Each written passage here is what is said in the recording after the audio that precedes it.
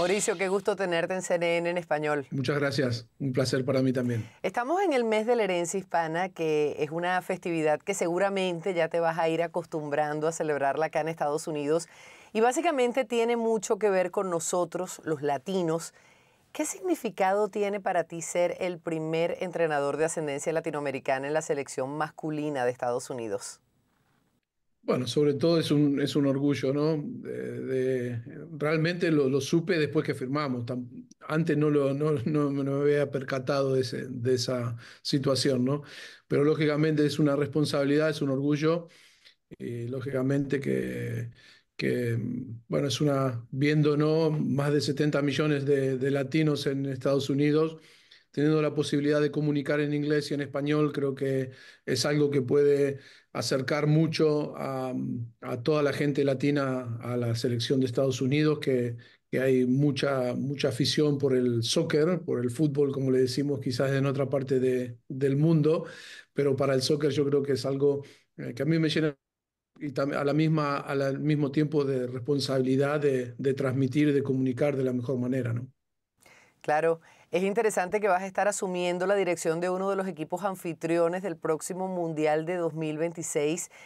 ¿Sientes mucha presión o más bien responsabilidad por ello? No, no, presión no, porque al final eh, en nuestra carrera, primero como jugador y después como, como entrenador, eh, en todos los proyectos siempre está la, expectación, la expectativa, ¿no? Eh, la presión por, siempre por resultados, porque vivimos de los resultados. No, no, nos lo tomamos como, por supuesto, con la responsabilidad de no defraudar eh, en lo que es el trabajo, el compromiso y crear una buena comunicación con nuestra gente, con, eh, también con la gente ¿no? que, que nos eh, da la oportunidad de poder estar en este, en este proyecto. esa es la responsabilidad de no fallar en el aspecto humano, en el aspecto profesional. Después los resultados dependen de, muchas, de muchos factores eh, bueno, tenemos que lograr hacer, construir un equipo en el cual eh, se, sueñe en grande, eh, porque talento hay, tenemos que lograr creer que podemos competir de la mejor manera con los grandes equipos del mundo.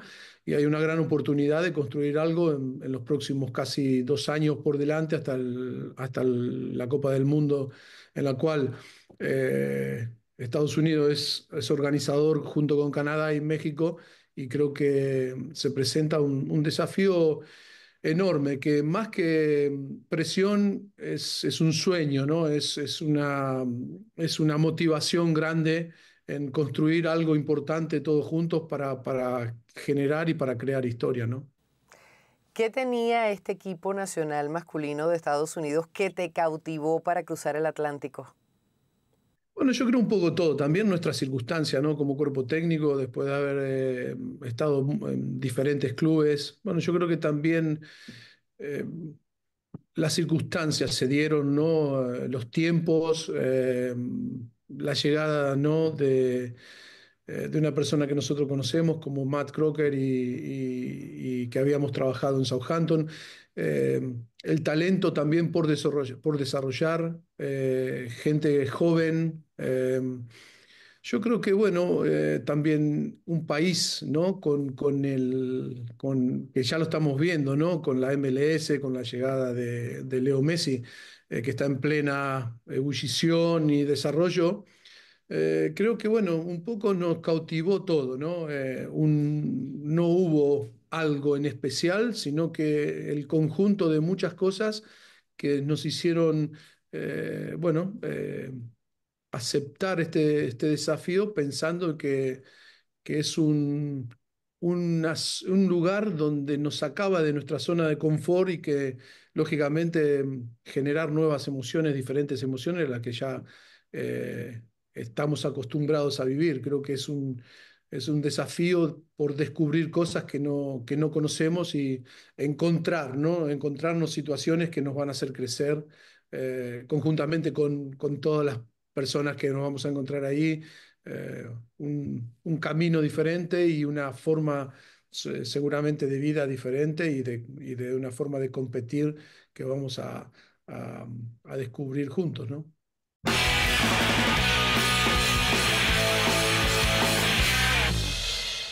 Este es tu primer trabajo como entrenador de una selección nacional. Tu experiencia ha sido en clubes. Con lo que has visto hasta ahora, ¿cuál consideras es la principal diferencia entre entrenar un equipo de primer nivel como el Chelsea o como el PSG en comparación a una selección nacional?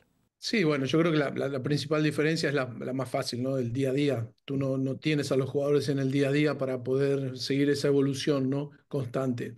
Eh, en el cual nosotros también, eh, también en, esta experiencia creo que hemos puesto mucho, ¿no? En, todos estos meses que estamos eh, trabajando ya en cómo veíamos nosotros ¿no? a las selecciones cuando éramos entrenadores de clubes como Paris Saint-Germain, Chelsea, Tottenham, Southampton o Español.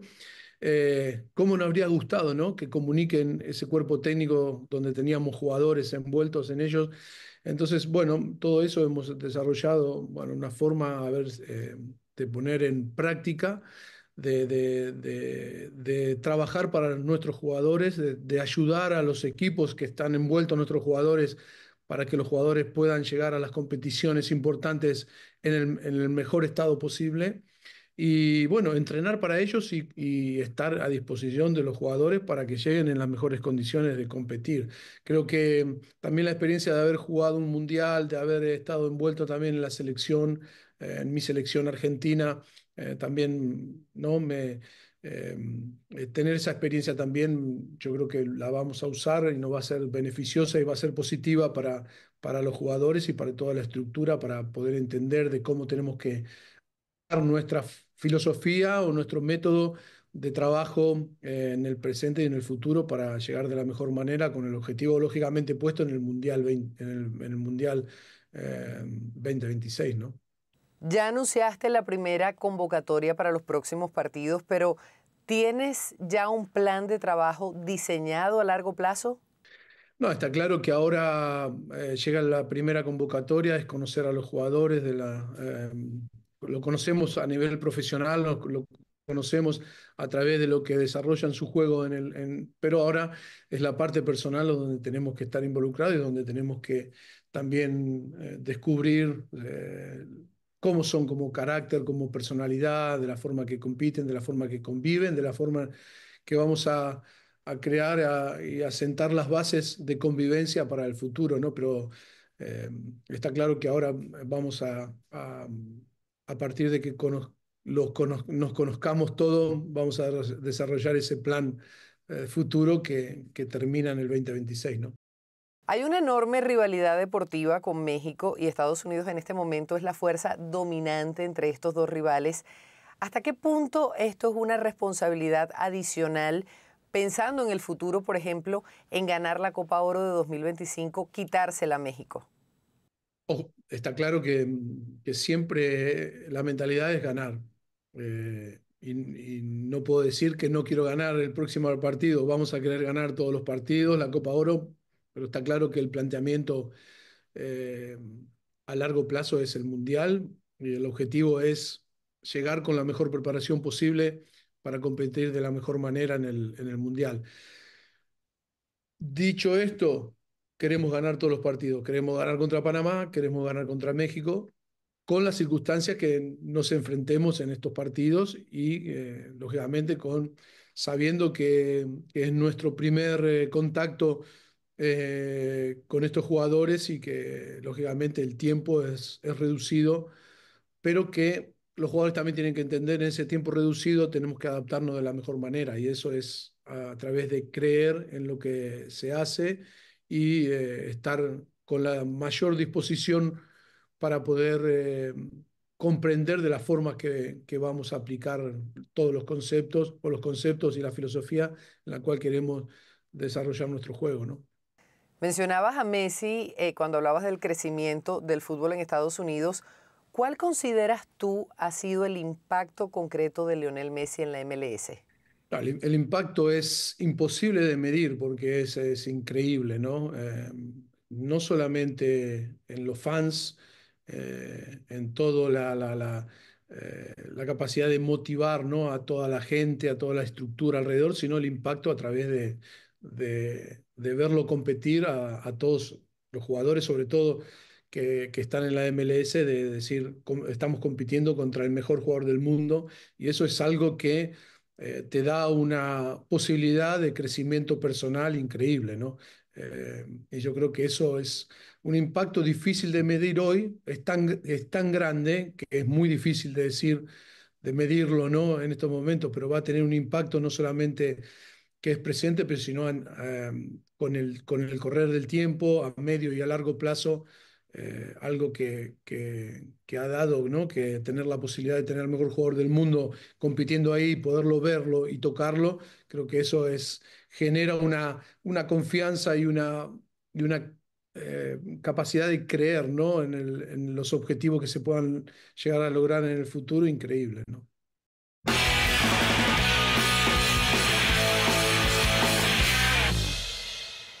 ¿Sueñas, te planteas o es un pedido seguro que Estados Unidos juegue un amistoso contra Argentina? Todavía no lo hemos hablado, pero me encantaría, por supuesto, jugar contra Argentina porque sería la posibilidad de competir contra hoy el mejor equipo del mundo, ¿no?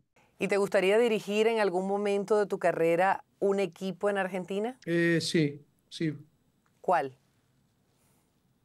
sabía que me venía esa. Bueno, yo creo que está claro que, que mi equipo es Newell's Old Boys y por qué no un día entrenar a, a Newell eh, sería, sería muy bonito. Eh, y lógicamente, aunque sé que hay muchos otros grandes entrenadores argentinos, la selección argentina también podría ser en algún momento, ¿no? Si se da la posibilidad. ¿Qué tienen los entrenadores argentinos? Porque los vemos ahora por todas partes en Latinoamérica al frente de las selecciones que ocupan los primeros lugares para entrenar a las mejores selecciones del continente. Bueno, yo creo que está clarísimo, ¿no? Que es ese gen competitivo que se tiene porque somos un país con una idiosincrasia, con una cultura eh, súper eh, competitiva de supervivencia y de capacidad de adaptación a cualquier medio, ¿no? Y creo que eso es, el, es lo que nos distingue eh, del, del resto, ¿no? ¿Es necesario que un futbolista llegue a Europa para considerarse un futbolista de élite? Bueno, los parámetros que hoy que la gente mide o que la prensa también o que nosotros podamos llegar a medir, pu- puede ser que sea eso, ¿no? Lo que, que sea así, que, se, que esté en lo correcto. Eh, pero bueno, pero no, no creo que para ser un jugador de elite eh, que estar, eh, uno tenga que estar en Europa. También tenemos que considerar que, que en otros países, en, en otras ligas, también se puede ser un jugador de elite compitiendo en diferentes lugares, ¿no? Pero bueno, los, los cánones marcan, los patrones marcan que si para ser un jugador de elite tienes que estar en Europa o tienes que estar en un, en un equipo importante. eh, quizás algo tenga que ver, porque claro, los mejores jugadores quizás están compitiendo aquí en, en Europa, en el global, pero bueno, estamos viendo hoy que grandes jugadores como Messi están compitiendo en la MLS y para nosotros yo creo que es algo importante de transmitir de que eh, la MLS es, una liga competitiva y que también compitiendo en la en la MLS puedes estar también en la selección de Estados Unidos eh, compitiendo de la mejor manera y compitiendo por grandes cosas, ¿no? Yo creo que tenemos que también eh, eh, creer en eso, ¿no? Que también los jugadores que están compitiendo en la MLS van a tener la oportunidad de poder demostrar su talento en la selección. No hace falta ir a Inglaterra, porque también hay muchos jugadores, eh, perdón, no en Inglaterra, en Europa, ¿no? No- Hay muchos jugadores que están en Europa y que tampoco juegan mucho y que no compiten, y hay otros jugadores que están en la MLS o en diferentes ligas que compiten y a lo mejor esos jugadores eh, están más en forma de poder eh, rendir que jugadores que a lo mejor no compiten semanalmente, ¿no? Hace un tiempo vi un video en el que tú explicabas cómo era la pronunciación de tu apellido en italiano, que se pronuncia Pochettino, pero que en Argentina, sin embargo, dicen Pochettino. ¿Hay algo que las personas no sepan de ti y que te gustaría que supieran o que sería interesante ahora que llegas a Estados Unidos, donde la gente está conectada en las redes sociales y le gusta saber de todo?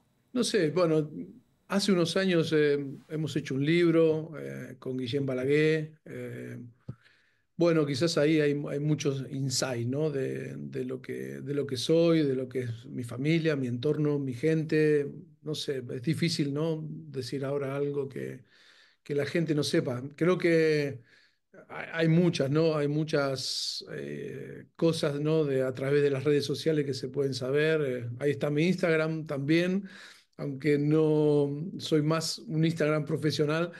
Pero bueno, yo creo que no hay muchas, muchas cosas, ¿no? Muchos secretos guardados, no, no tengo, soy bastante abierto y, y lo que ves, así, así somos, ¿no? Muchísimas gracias, Mauricio. Muchísimo éxito en este nuevo reto profesional y estaremos muy pendientes de todo lo que ocurra con la selección de Estados Unidos. Muy bien, muchísimas gracias. Es un placer enorme.